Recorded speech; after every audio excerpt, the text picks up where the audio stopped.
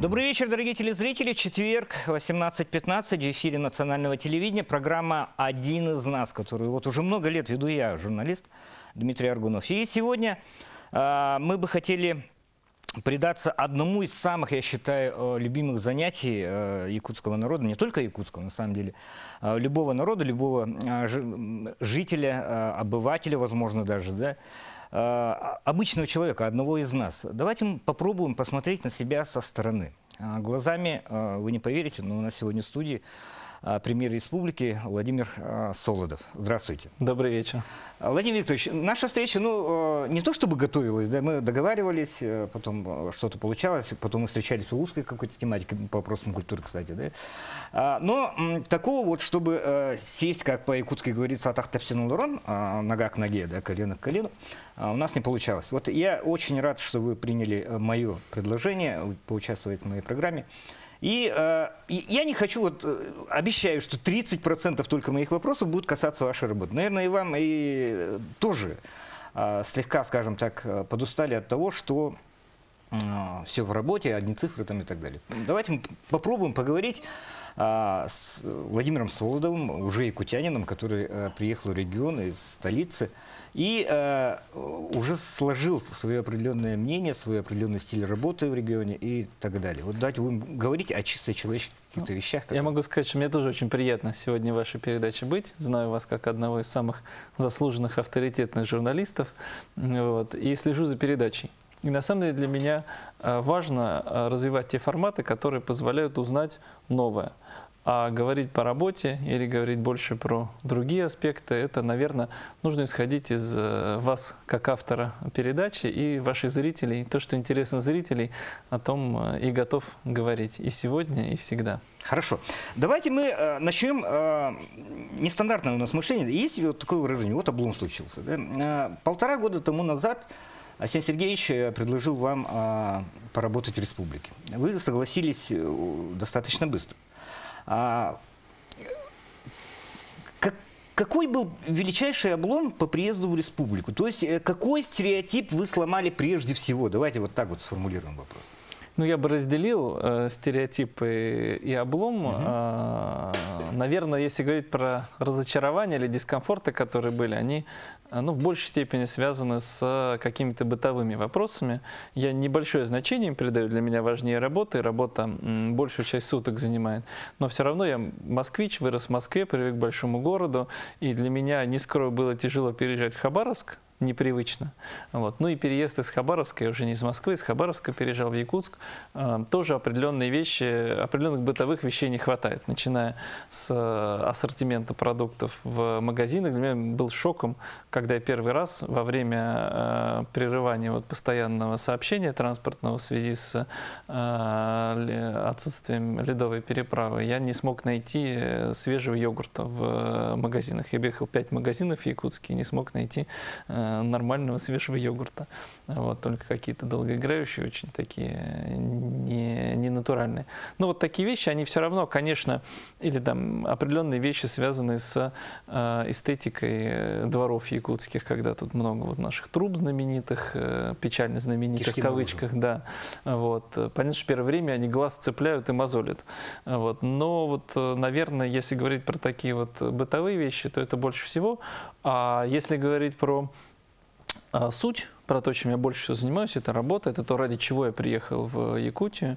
А, это возможность э, поменять э, жизнь э, сотен тысяч людей к лучшему, это возможность сделать большой проект по развитию великого региона, великой республики. То есть здесь, наверное, если говорить про разочарование, основное для меня это темп, с которым удается делать изменения. Mm-hmm. Я честно признаюсь, думал, надеялся, что все получится сделать гораздо быстрее, быстренько, сейчас, настроим на новый лад, э, сформируем новую команду и по-новому начнем работать. Э, для меня такое вот было некоторое разочарование, что гораздо медленнее все процессы идут.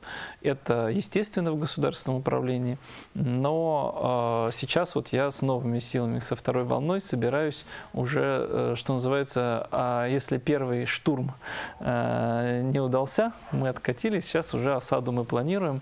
Осаду, я имею в виду традиционных э, моделей управления и традиционных форм работы, от которых э, необходимо отказаться в современном обществе. Сейчас вот э, системный подход используем, мы проекте, планируем эти изменения уже реализовать на такой планомерной и последовательной основе.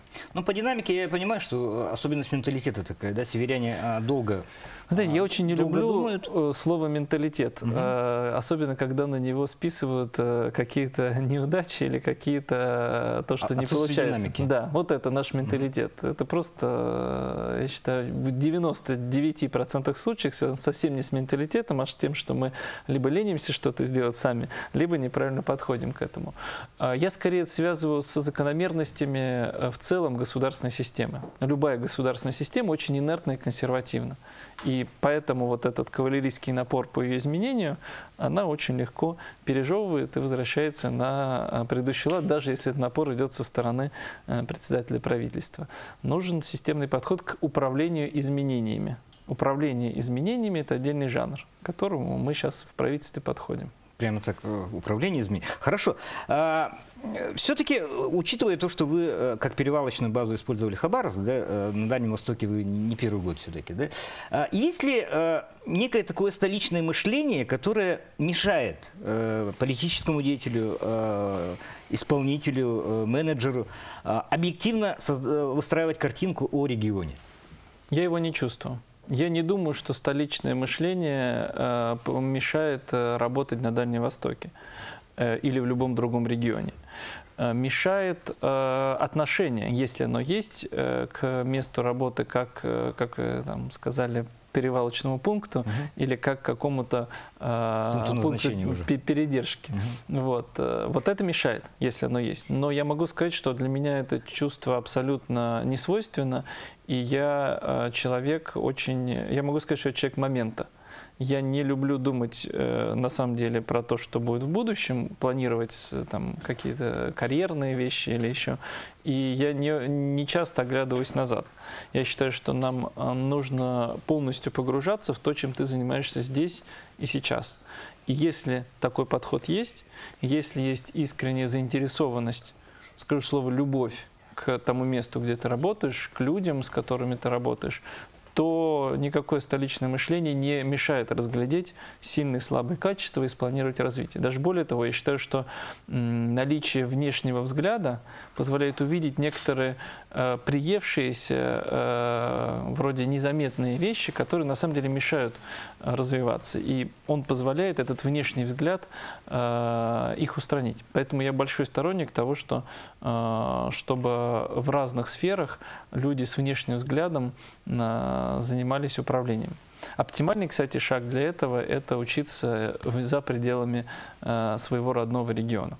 Я глубоко уверен, что самое лучшее – это учиться за пределами региона и еще лучше учиться за пределами страны, а потом возвращаться в свою родную страну, в свой родной регион – и там добиваться результата. Тогда будет и глубокое знание, и включенность в э, общество и в э, те процессы, которые идут, и внешний взгляд, который приобретается при э, таком контакте с другими, э, другими цивилизациями, народами, городами э, и странами. Все мы ищем там, где лучше, да, там, где хорошо. А вот вы э, учились за границей, вернулись на родину, э, очень хорошо. Да? А как сделать так, чтобы основная масса нашей молодежи, которая имеет сейчас возможности обучаться за границей, готовить, готовиться к э, профессиональной деятельности, она бы возвращалась? Как все-таки объективно, а что Россия может сделать, вот, выставить какое-то знамя а, для того, чтобы вот та часть молодежи, которая обучается за границей, она все-таки возвращалась на родину? Ответ очень простой. Это дать возможность для самореализации. На самом деле, э, не в комфортных условиях жизни, и я даже больше скажу, не в уровне зарплаты, ключ к э, сохранению и к возвращению наиболее талантливой молодежи. Ключ в возможности самореализоваться, возможности сделать что-то большое. Потому что это, кстати, было, э, ну, я не рассматривал возможность продолжения за рубежом карьеры профессиональной, но многие мои друзья перед этим выбором находились. И вот когда мы обсуждаем, всегда аргумент аргументом в пользу возвращения в Россию является востребованность, является возможность что-то сделать, является тот факт, что здесь мы нужны. Ну, известная пословица, где родился, там и пригодился, в ней сокрыт э, глубокий смысл, потому что именно здесь мы можем э, сделать большие э, дела. А за границей ты всегда будешь, ты можешь жить в комфорте, ты можешь получать хорошую зарплату, но ты всегда будешь чужим, ты всегда будешь одним из приезжих. И тебя в очень редких случаях допустят до э, стратегических решений. Ты всегда как, будешь э, помогать им готовить какие-то свои решения. А здесь мы имеем возможность сами решать, сами творить. И это во всех сферах. Это ученые, которые имеют возможность здесь работать. Это э, промышленники, создавать предприятия, проектировать их. Это э, те, кто занимается управлением, это учителя, это врачи. Любую профессию можно взять. Я глубоко убежден, что только на родине, на своей земле есть возможность сделать большое дело и стать профессионалом, с большой буквы. Я допущу ремарку к вашим словам. Да? Все-таки, наверное, это еще и Э, результат того, то, что молодежь остается на Западе и так далее, результат того, что насаждаются западные какая-то модели семейных ценностей, да, когда исполняется человеку 21 год, он уезжает из родительского дома и фактически до смерти родителей туда не возвращается. У нас же в России это немножко по-иному. Да? Мы все-таки чтим родителей, мы, мы, мы чтим э, те ценности, которые дает семья, и поэтому э, больше таких, как вы. Больше вот таких, как я, которые... У меня на эту тему недавно был, я в Москве был э, на новогодних праздниках, и я со своей мамой, э, с родителями как раз эту тему обсуждал. Э, вот. Потому что тема непростая. Раньше я был, разделял ваше мнение, что то западное – это наше исконное. А вот сейчас я все больше считаю, что нам нужно элементы западного этого мышления все равно развивать в себе. Еще раз, вот мысль я хотел повторить, что обучение за пределами родного дома, родного города, родного региона имеет ценность. Что очень важно э, молодому человеку во время становления, и этим периодом является обучение, дать возможность оказаться в э, другой среде. Вот теоретики обучения э, доказывают, что наиболее эффективно человек учится, э, когда бывает в разных разнообразных средах. Чем больше людей ты разных встречаешь, чем больше разных ситуаций ты оказываешься, в пределе, чем в больших школах ты поучился, переходя, тем у тебя лучше развивается умение адаптироваться и умение действовать в ситуации неопределенности. А это один из самых востребованных навыков. Поэтому я думаю, что нам вот эти, э, в рамках нашей системы обучения нужно воспитывать, не разрушая традиционную модель, поощряя возвращение там, в родительское гнездо, создавая механизмы, но дать возможность э, нашим э, детям, подрастающему поколению, пробовать себя в других, в том числе культурных и языковых средах. Мы вернемся к разговору, к откровенному разговору с премьером республики, с Владимиром Солодовым, а, буквально после небольшой паузы.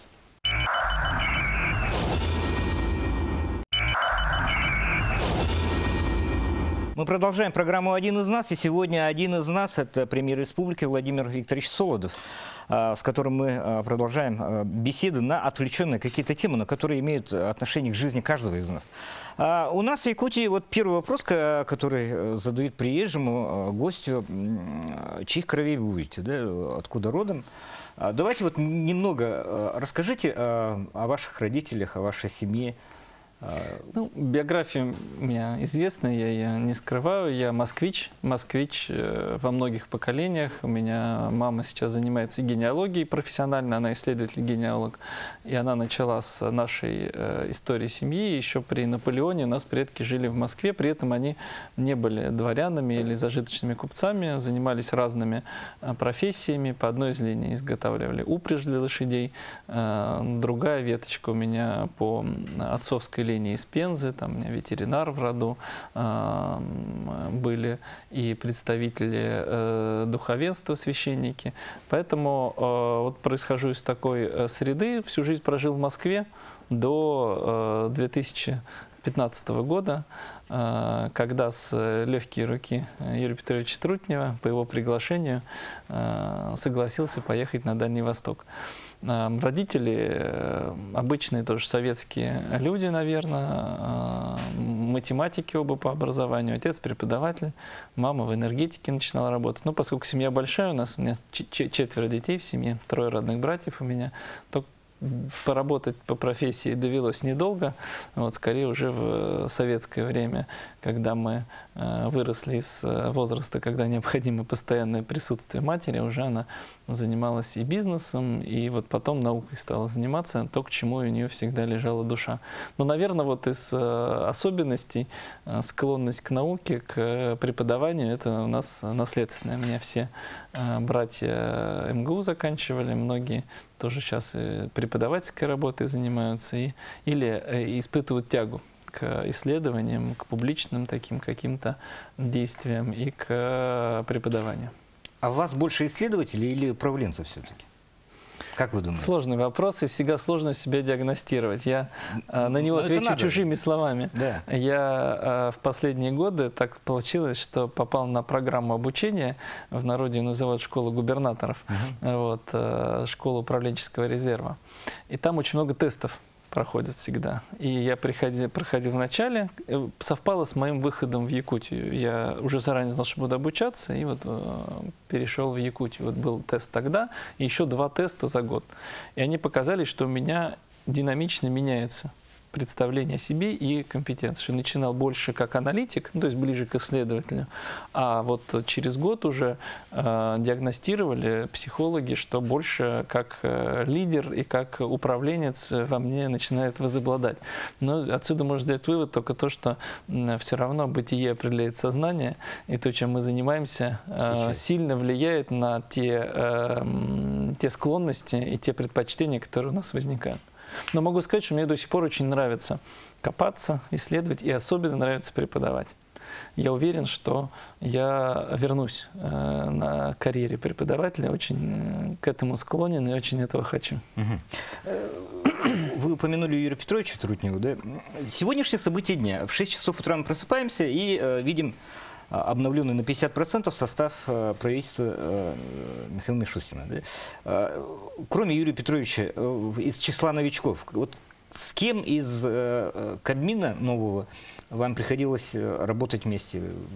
Что-то, возможно, пойдет на пользу республики? Ну, у нас действительно время перемен. Все ждали новый состав правительства.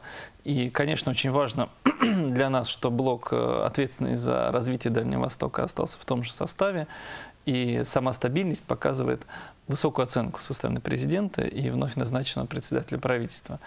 Э, надо сказать, что у меня э, с многими вновь назначенными членами правительства эм, судьба сводила, и не могу сказать, что дружеские отношения, дружеских нет, но вполне такие профессиональные контакты э, теплые были. Это и Максим Решетников, назначенный министром экономики, сталкивался и с Сергеем Сергеевичем Кравцовым, который стал министром просвещения, и с, с рядом других. Поэтому я уверен, что э, республика, э, для республики это не будет каким-то э, сокращением ее авторитета или э, каким-то э, каким снижением тех возможностей, которые есть. На самом деле республика, я могу сказать, что за вот тот период, как Асен Сергеевич возглавил ее, и как мы командно навалились на эту задачу, очень серьезно свой имидж, конечно, поменяла и поменяла в лучшую сторону. Все равно судят не по э, тому, кто с кем знаком, а по тому, какие результаты, какой подход э, демонстрирует тот или иной регион. И то, что мы сейчас э, являемся одним из наиболее инновационных регионов, регионов-новаторов, что мы позиционируем себя, имеем такую амбицию быть первыми во многих вещах, это уже все замечают и уже все так к этому относятся. И это одно из, на самом деле, самых главных достижений, которые мы все командно планируем продвигать и дальше. Владимир Викторович, э, давайте от простого к более сложным вещам. Да? Вот всегда говорят, территория республики это, это самый большой вызов э, населению. Да? На примере йогурта, вот можно сказать, что э, недополучив в магазине свежего йогурта, вы возможно, сделали что, э, какие-то выводы, что транспортная доступность должна быть улучшена, серьезно улучшена. Причем э, серьезные шаги в этом направлении вот за последний год сделаны, я думаю, в масштабах э, тех лет ожидания очень большие. Да? А, мост чуть оставим в стороне, а, давайте мы о перелетах. Все мы помним вот вашу оду «Он там», а, очень рады, кстати, то, что вы похвалили, вот наш северный уклад и так далее. Вам часто приходится летать, помимо, скажем, вот, э, моста, да? Э, состояние авиации. Вам не страшно просто садиться в эти Ан-24 и э, приземляться где-нибудь в Батагае? А, мне, приход... Мне приходится професси... по профессиональным обязанностям проводить совещания, которые касаются состояния авиакомпании, стратегии, состояния авиапарка. И э, я э, без шуток очень ценю профессионализм наших авиаторов и профессионализм и жесткое э, соблюдение регламентов э, позволяют мне без страха садиться в самолет. Я привык доверять профессионалам. Если я уверен, что э, человек, который пришел стричься, профессиональный парикмахер, я не буду все время дергаться, не так ли он мне выстрижет и не оставит ли он э, лысину на одной стороне э, головы. Так же и здесь. Я уверен, как представитель правительства, который по должности э, проводит соответствующие совещания, что профессиональные регламенты в наших авиакомпаниях находятся на высоте. И поэтому я, доверяя профессионалам, спокойно сажусь в кресло и стараюсь сразу засыпать. Чего я вам советую. Самое полезное в самолете Отлично. это спать. То я боюсь просто летать, особенно чем старее, скажем, судно. Ну, говорят же, Ан-24 очень надежно, он может планировать с одним двигателем, даже с отключенными и так далее. Хорошо, оставим это в стороне. А, Все-таки климат, территория или э, какие-то обособленности вообще в целом региона, это какой самый большой фактор, который мешает э, якутянину на 100%, на 200 даже процентов чувствовать себя россиянин?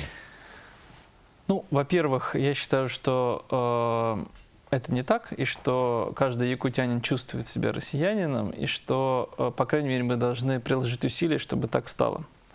А, другое дело, что мы себя чувствуем на особой части территории да, Российской да, Федерации, да, вот которая имеет свои особенности. А, просто я действительно, это даже, в, даже вот в бытовой речи у госслужащих очень жестко пресекаю, когда мы говорим, вот они в России, мы в Якутии, мы в России. Мы особая, очень значимая часть России, форпост на северо-востоке страны. А что мешает? Все вместе, это нельзя делить одно от другое. Но, наверное, все это вместе приводит к тому, что в совокупности еще с достаточно малой численностью населения э, приводит к тому, что мы очень разрознены и у нас э, недостаточно, недостаточная концентрация человеческого капитала. Вот это главный вызов для современной экономики, которая базируется на человеческом капитале. А, и нам, а, если мы хотим построить современную несырьевую экономику, а это наша амбиция, а если мы хотим сделать человеческий капитал республики глобально конкурентоспособным, чтобы наши граждане могли реализоваться и в республике, и в других э, странах, на других рынках, если у них такая амбиция будет. А это тоже, я считаю, что мы должны обеспечить. Э, то есть не делать так, чтобы не было возможности уехать, а делать так, чтобы хотелось остаться, то тогда мы должны решить эту проблему. Как? Тоже вполне понятным, э, по, по вполне понятным путем, который складывается из двух основных слагаемых. Первое – продолжить работу по повышению транспортной доступности. Э, много сделано, но еще больше предстоит сделать. Я бы здесь, возвращаясь к теме авиации, сказал, что на 2020 год – одним из приоритетов ключевых мы ставим доступность авиабилетов и вообще развитие авиационного сообщения внутри республики в первую очередь и с э, ключевыми центрами. А второе – это развитие э, транспорта интеллектуального. Это развитие интернет и телекоммуникационных услуг. Потому что э, развитие, наличие развитого интернета и умение им пользоваться в полном, э, всем арсеналом современных телекоммуникаций позволяет сделать качество жизни э, современного человека одинаковым в крупном мегаполисе и в маленькой э, деревушке э, на э, краю э, света. Угу. Личный очень вопрос. А каким транспортным средством вы вам нравится управлять? Вот, Автомобилем. Вот как, какой больше марки? ничем не, как, не Какой управляю. марки? Давайте мы остановимся на этом. А, я люблю разными автомобилями управлять. Mm-hmm. Я, не, безусловно, не профессиональный водитель, но я получаю, на самом деле, удовольствие от управления автомобилем. И ответ разными. У меня нет какого-то предпочтения. У меня любимый способ, э, один из любимых способов э, отпуска – это приезжать в какое-нибудь новое место и брать в аренду автомобиль, который я никогда в жизни не управлял, и управлять им. Вот недавно я был в Москве на обучении, мы все вместе командой правительства ездили, и нас водили в ВДНХ и показывали реформу, которая там делается. И там мне доверили управление э, электромаршруткой, такой маршруткой, mm-hmm. которая на электрическом двигателе российского производства. Я первый раз в жизни сидел за рулем маршрутки и за рулем электрической маршрутки. И вез моих коллег, двух губернаторов и еще нескольких э, членов правительства. Вот. Мне приятно было этот новый опыт. Поэтому вот так. А вообще... То есть ну, Тесла вам понравилась? Я ни разу не управлял, но мне интересно. Я управлял другим Наверное, автомобилем. Э, э, Toyota Leaf э, – это самый распространенный в России электроавтомобиль, и больше всего таких автомобилей в Владивостоке. Я когда а, работал... Nissan, по-моему. Nissan Leaf, Nissan, Leaf, да, да, вы правильно. Не Toyota Leaf, Nissan Leaf. Вот. А так вообще у меня домашний автомобиль, который у меня в Москве есть. Я, когда бывают иногда у меня на выходные приезжаю в Москву, у меня BMW маленькая X1. Мне очень нравится вот, вот, вот, коробушечка такая да, маленькая? Самый, самый маленький из кроссоверов. Хорошо, отлично. Мы э, в третьей части продолжим наш разговор с Владимиром Викторовичем Солодовым. А, небольшая пауза прямо сейчас и э, оставайтесь на нашем канале.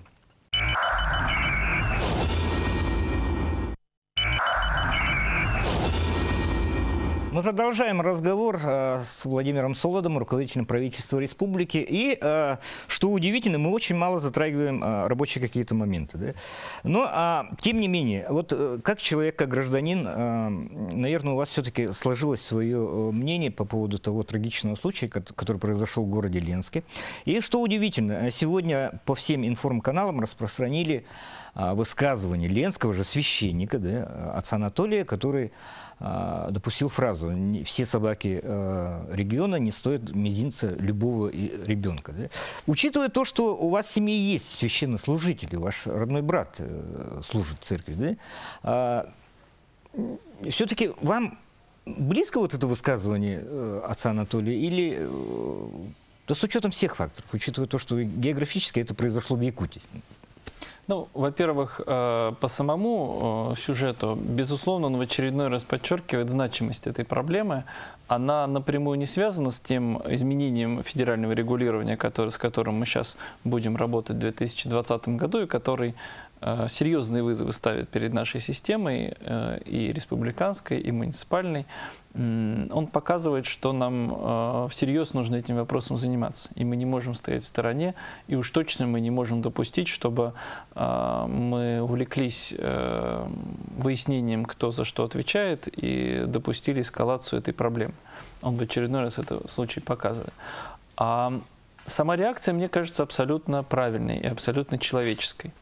И здесь два момента. Первый, что священник – это такой же человек, как и все остальные – а каждый из нас, имея гражданскую позицию, я считаю, что вполне имеет право ее высказывать. И э, поэтому это вполне человеческая и, мне кажется, очень э, искренняя реакция.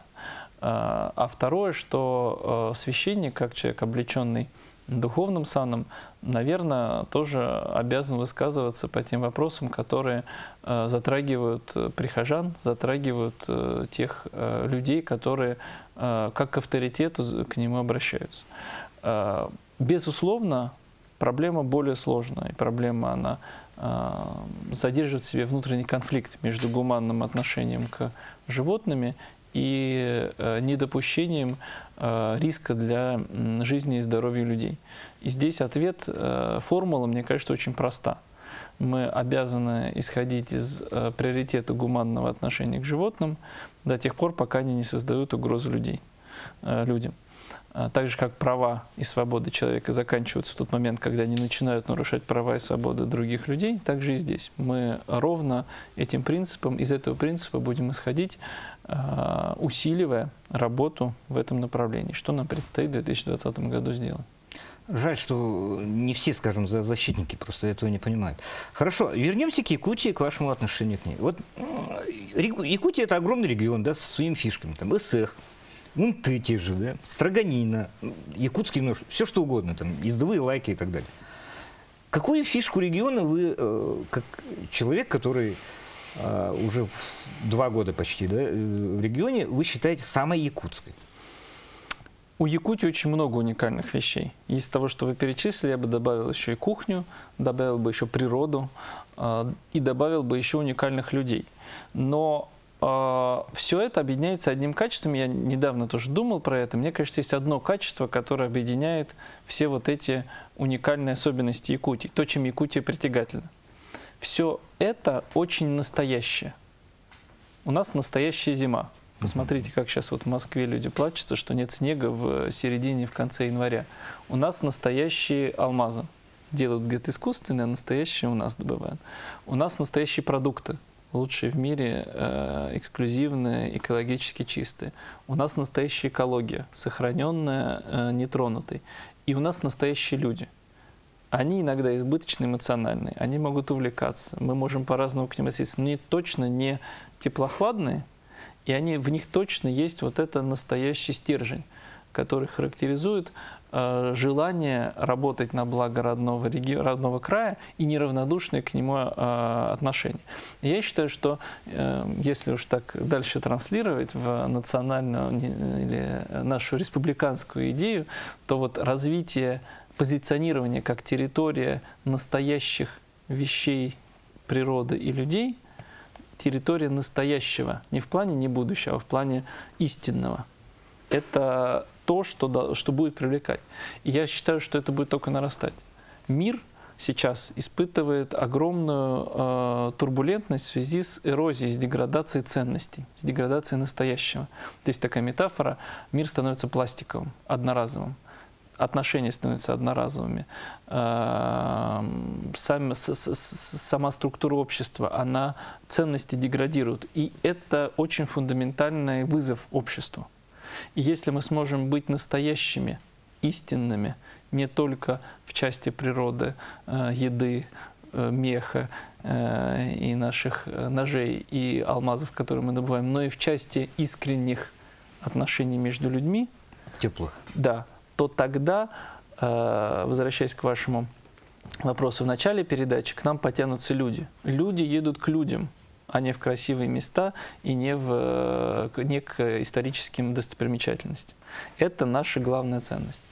Я, я вот всегда, э, история была такая, да, э, был некий конкурс э, слоганов территории, да, вот есть же Канада, там, страна кленового листа, Япония, страна восходящего солнца, да, ну, предлагали слоган республики, я предложил вариант «Земля, согретая снегами», да, то есть живут люди, которых, между которыми теплые отношения, но которые э, живут в таком очень суровом климате. Да? В принципе, я вот не, не навязываю, но прислушайтесь просто к этой фразе, вот когда вы сказали, что люди настоящие. Правильно, вот те э, девять снегов, которые нас укутывают, они помогают да.